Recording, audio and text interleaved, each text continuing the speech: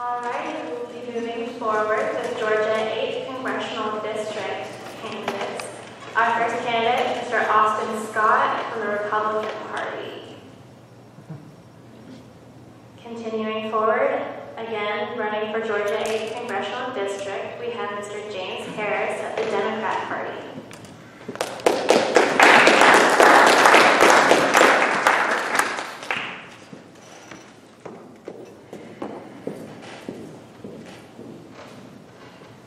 Evening.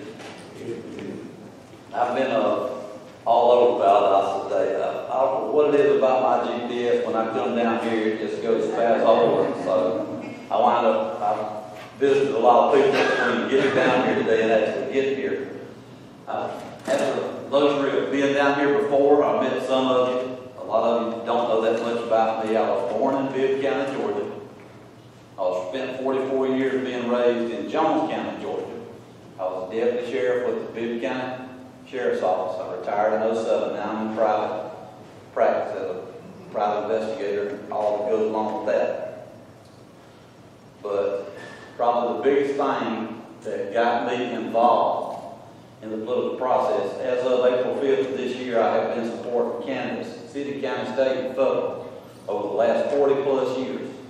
And I'm just sick and tired of going out, spending all these hours, spending all this time helping these people get elected. Then once you get them elected, then all of a sudden, they don't remember who you are and don't remember why they went up there in the first place. My, our campaign is a God-based campaign. I believe in God first, God foremost, and God forever. Uh, I'm pro-life. That's my public stance. My personal stance is, between the baby's mother, her mother, the, the pastor of whatever church they attend, and the good Lord up above. When it comes to deciding how to take care of the different bills and so forth that come out on the floor, my, my questions are, is it biblical? Is it constitutional? Do we need it? And can we afford it? If, if any one of those four questions can't be answered, we don't need it. I'm big on education. Understand why we're still having a lot of the problems we had. First, they said that we didn't have enough money, and they threw money behind it, and we still have problems with education. I also stand for some form of prayer in schools. I believe that we need to raise the minimum wage, lower food prices. The student debt crisis, I think they need to lower the interest rates. And a lot of the paperwork is kind of muddy. I think we need some type of voucher specifying what that money is going to be spent on. Work toward paying off the debt. You know, just like when you're doing nursing or what have you, they put you in the hospitals and let you work with the different nurses and whatever, and you start that. Some kind of criteria. I'm for gun ownership now with the AR-15s and M16s. I think it needs to be some kind of a yearly class, and I think it needs to be recertified every year. But I don't. I'm not one of these that believes that we should not have the right to have guns. We're doing a lot of stuff with that in California coming out January of next year. And have more than ten round magazines out there, you're not going to be able to have those anymore. You're going to surrender them ammunition, I think somewhere along 50 plus rounds of ammunition, you're going to wind up having to go through the same thing as you would go through to, to, to be registered for a gun. And if I want to loan my brother my gun, we have to take both of our IDs and go to a gun store and fill out paperwork for me to transfer my gun for him to go shoot the range or whatever for the day. Transfer it to him, then when, we, when he gets ready to hand it back, then we've got to go back to the gun store and go through all that paperwork again.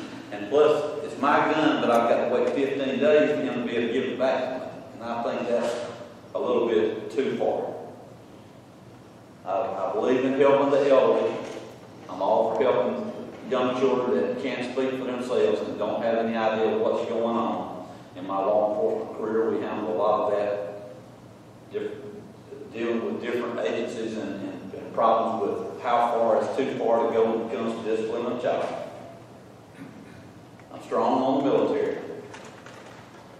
And I believe we should get out and support all these candidates to, the- to the degree that we can, because anybody that has been in the political process at all, and I've been in, like I say, forty plus years, anybody that's willing to come out here and stand up in front of all of you, our taxpaying citizens, which I still am one, still intend to be one, and have to deal with all we have to deal with trying to accomplish something for the greater good.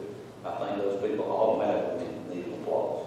But, uh, I'm for medical marijuana as long as it's used strictly for the, the, the way that they're trying to do it, Allen Peake and them are trying to do it in Atlanta, not for recreational use. I'm fixing to step that. But, uh, one other thing, social security, I don't think we need to privatize it. These money should continue paying in don't raise the cap. And I actually thought that I was gonna get through ahead of six minutes. But I've got cards, and for everyone that has not met me or hasn't got one, I'll still be here for a few minutes after everything's through, and you'll stop by, I'll be to get one.